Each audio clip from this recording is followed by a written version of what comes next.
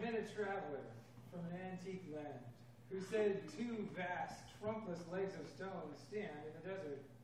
Near them on the sand, half sunk, a shattered visage lies, whose frown and wrinkled lip and sneer of cold command tell that its sculptor well those passions read, which yet survive stamped on these lifeless things.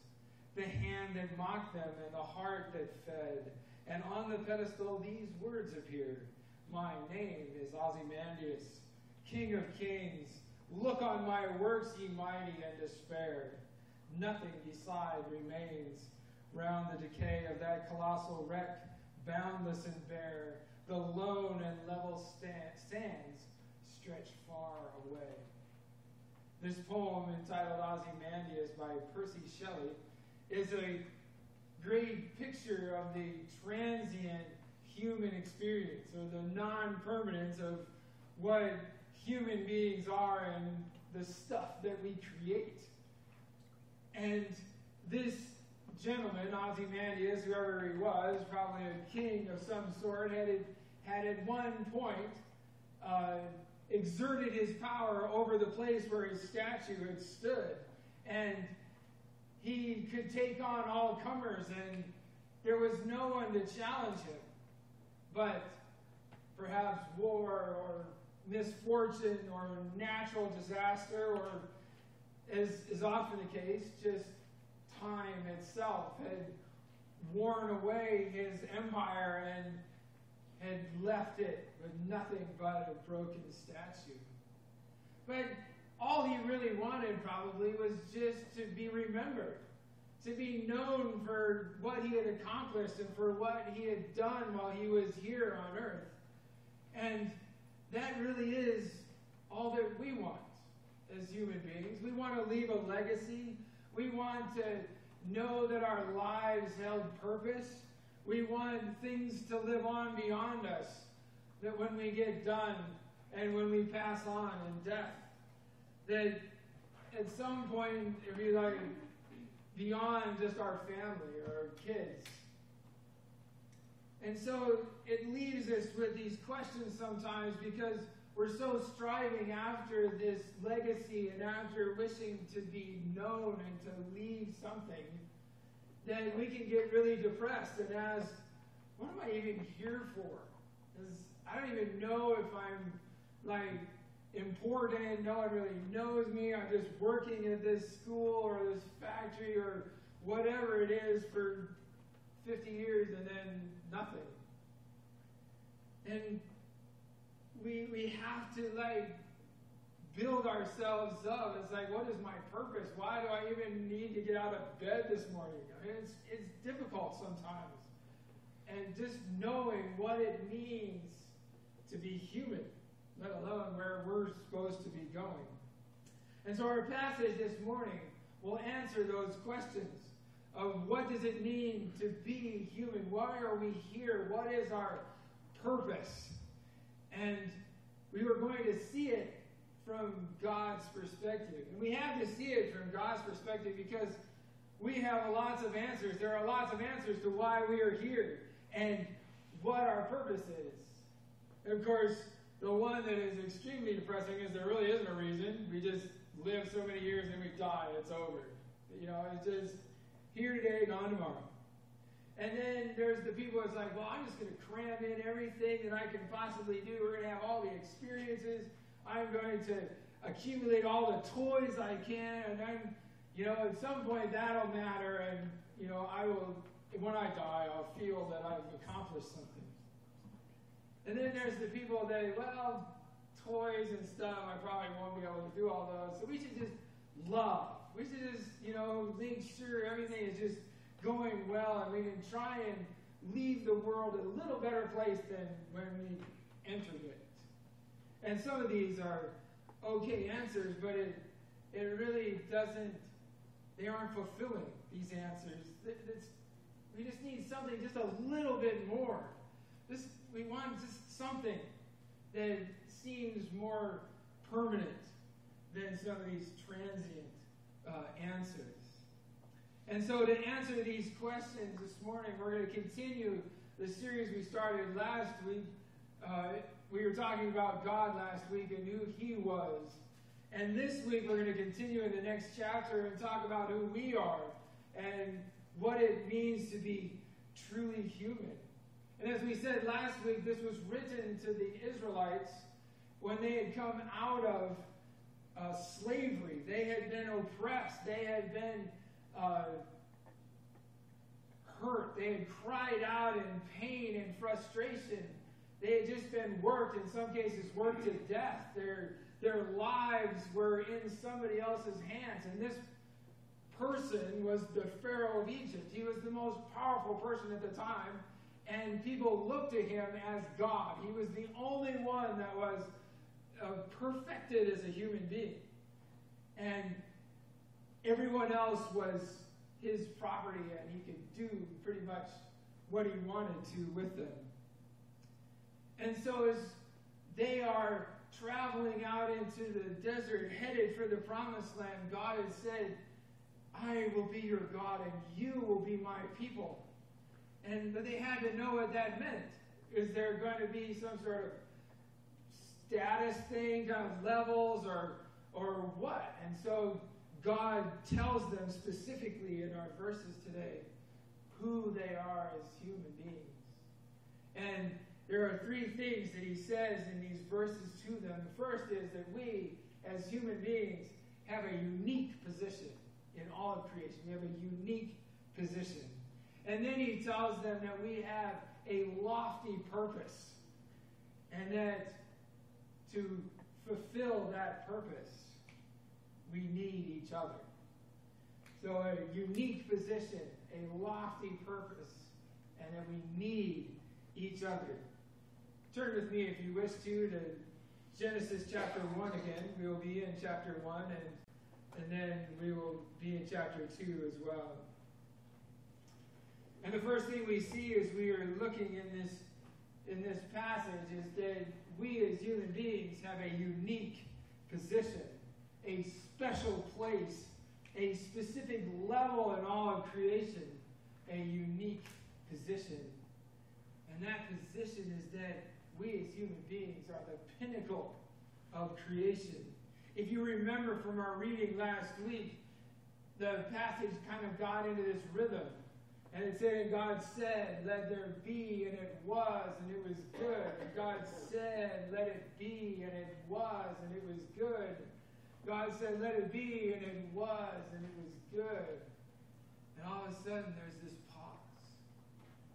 And then God says in verse 26, Then God said, Let us make man in our image, in our likeness, and let them rule over the fish of the sea and the birds of the air, over the livestock, over all the earth, and over all the creatures that move along the ground. So God created man in his own image. In the image of God, he created him. Male and female, he created them. So the first thing we are in this position is, is called an image bearer, or we are in the likeness of God. We're created like him. And this is kind of a interesting concept to get our mind around. What does this mean? And what, what this was in this time period was just like Ozymandias. He had a statue. And he put the statue in a faraway town, and he would, well, looking at the statue, you would know who owned the land, who was the ruler. We do this today. If you've ever visited the federal buildings, we have a picture of the president and a picture of whatever department secretary happens to be over that particular office, but they're on the wall. That is the image bearer. And so that is what we are. We are God's representative. We are God's ambassadors, if you will, to this world.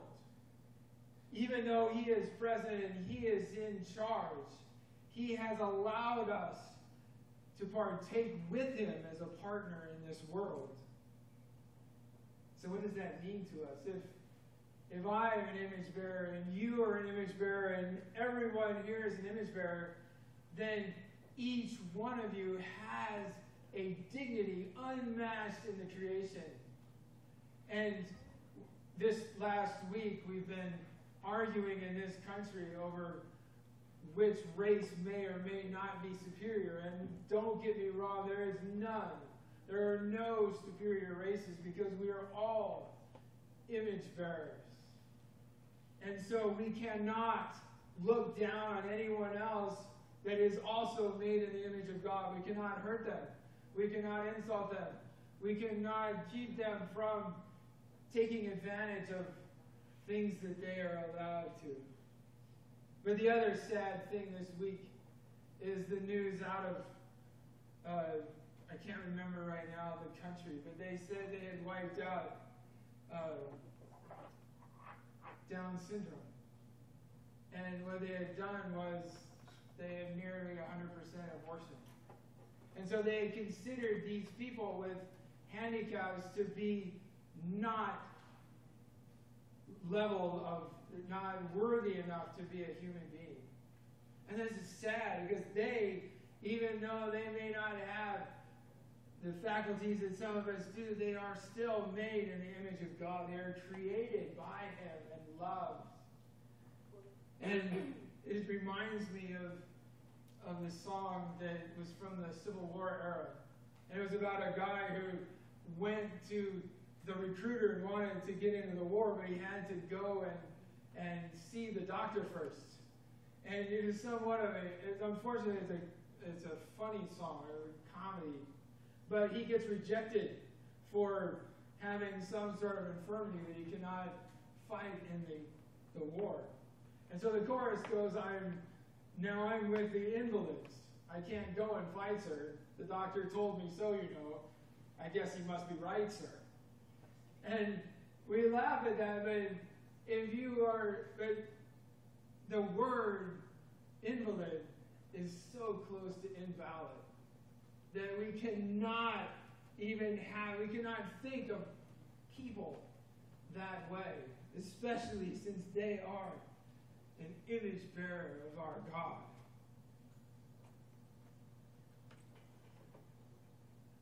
So we as humans have a unique position. But with this unique position comes an incredibly lofty purpose. And chapter 2, starting in verse 4, reads this way This is the account of the heavens and the earth when they were created. When the Lord God made the earth and the heavens, and no shrub of the field had yet appeared on the earth and no plant of the field had yet sprung up, for the Lord God had not sent rain on the earth. And there was no man to work the ground, but streams came up from the earth, and watered the whole surface of the ground. The Lord God formed the man from the dust of the ground, and breathed into his nostrils the breath of life, and the man became a living being. Now the Lord God had planted a garden in the east, in Eden, and there he put the man he had formed. And the Lord God made all kinds of trees grow out of the ground, trees that were pleasing to the eye and good for food. In the middle of the garden were the tree of life and the tree of the knowledge of good and evil. A river watering the garden flowed from Eden, and there it was separated into four headwaters. And skipping down to verse 15, the Lord God took the man and put him in the Garden of Eden to work it and take care of it. And the Lord God commanded the man, You are free to eat from any tree in the garden, but you must not eat from the tree of the knowledge of good and evil, for when you eat of it, you will surely die. So, our lofty position, our lofty purpose, an incredible duty, a high calling is as image bearers, we are called to rule we read it in the first verses. In some of your translation, it has the word dominion, but we are supposed to exercise authority over creation in God's place here on earth. And in that, we are supposed to fill the earth with ourselves and then subdue it. And a lot of people take those, those verses to be having children as married couples and just making population, and it is that. That is one way. But what this is talking about, I believe, is that we need to fill the earth with image bearers, those who worship the Lord. And if we have a, an entire world of people who worship the Lord, that would be wonderful. It's not going to happen until he comes back. But that is the goal. That is what we're headed towards is to make the creation how God would want it. To have everyone and everything worship him and, and tell him that he is God. And it, it goes with the Lord's Prayer where it says, May your will be done on earth as it is in heaven. This is the fill and subdue it. But the other thing, while we're doing that though, the other thing here in these verses is that we need to work it and take care of it. Yes, I'm sorry. Work was around before the fall. So it is not something that is a bad thing. It was what we were put on this earth to do. And what Adam was to do was to take the creation and, and take such good care of it that it would everything would be right. These this phrase is used other places in the in the Bible, but it is only used of temple worship, of doing sacrifices, of, of maintaining the worship of the Lord.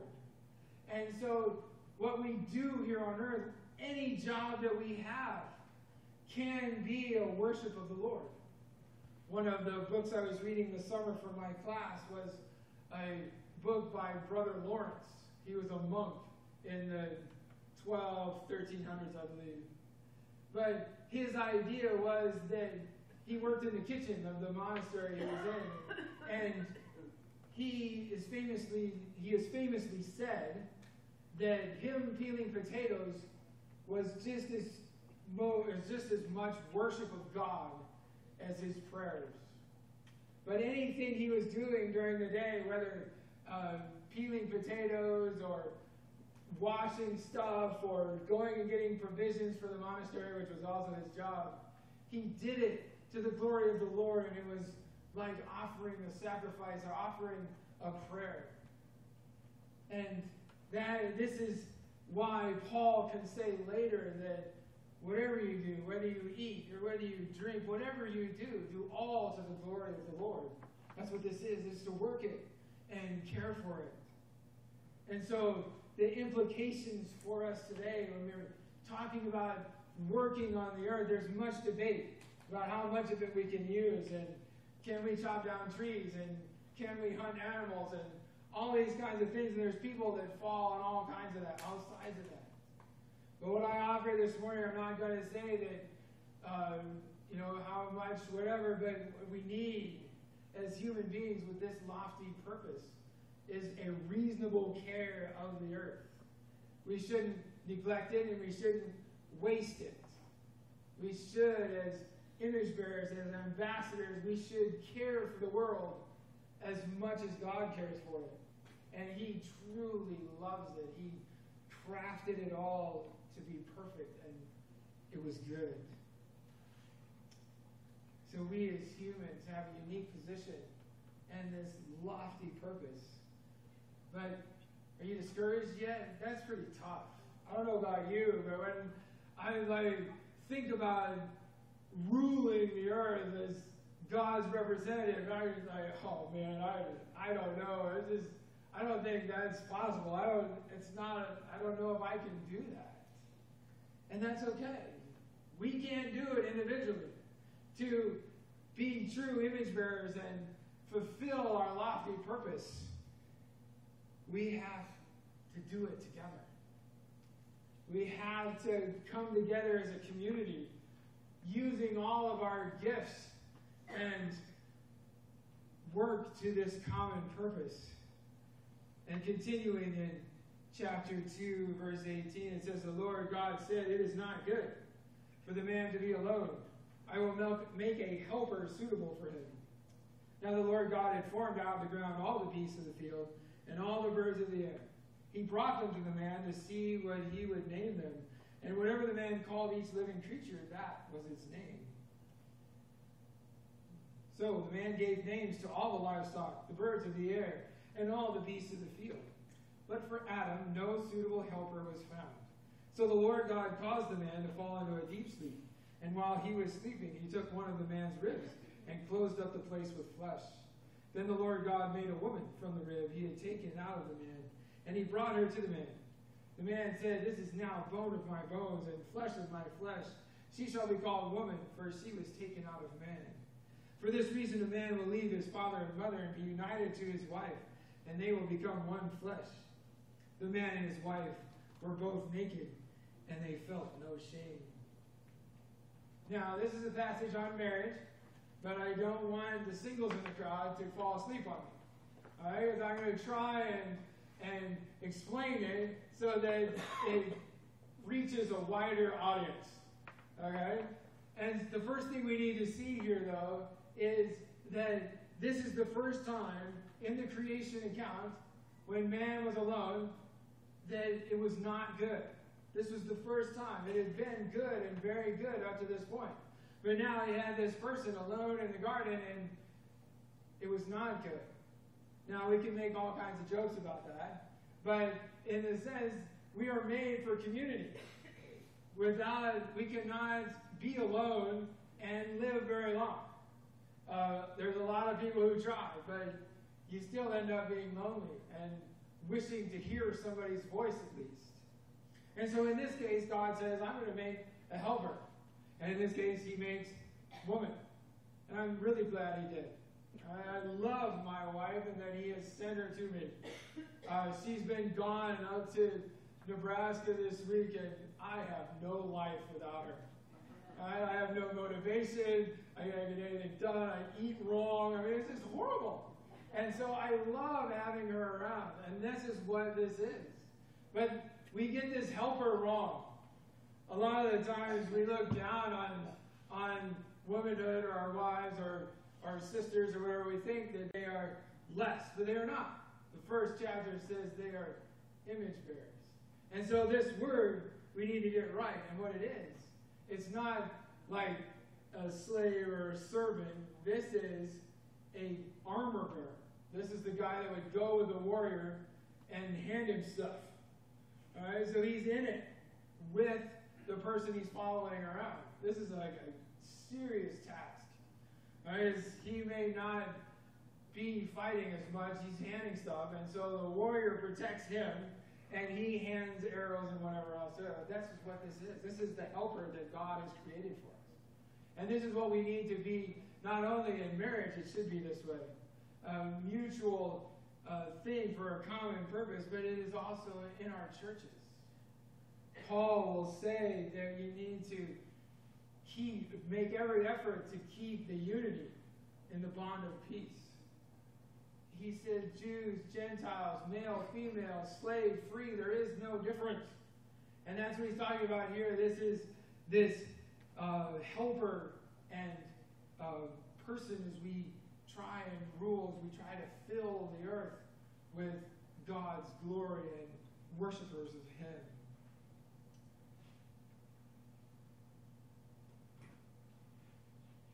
And finally, this being in community and then doing it right and with unity and with single minded purpose leads to vulnerability without fear. I like how this ends that they were naked and there was no shame. Right? One of the things that is the hardest uh, activity for a Christian to do is to speak of their shortcomings. Because, and I've done it, and I, I'm pretty sure you have. It's like, well, if they really knew me, if they really knew what I had done, or or who I was, or or my insecurities and my fears, they wouldn't love me. And that is shame. Uh, but if we are doing this right and we have the identity in our in place in Jesus Christ, if that goes away, I can speak of those things and you can love me because God loves me. I love that song that we sing. It's not because of who I am, it's what you have done. It's not because of what I've done, it's who you are. And it is so true. And it was so true that he loved the world and his human creation that he sent his son to be one of us, to take on humanness that is what we as human beings can aspire to, to live up to. We can try in our weaknesses and our shortcomings to be Christ like.